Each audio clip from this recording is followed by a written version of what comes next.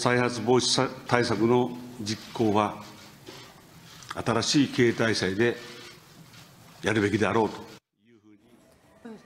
神戸製鋼所はデータ改ざん問題の責任を取り川崎弘也社長とアルミ同部門担当の副社長が4月1日付で辞任すると発表しましたまた不適切な製品について新たに163社に出荷していたことが明らかになりましたこの問題を調査してきた外部調査委員会は社員の品質管理意識の低下などが原因と結論付けました。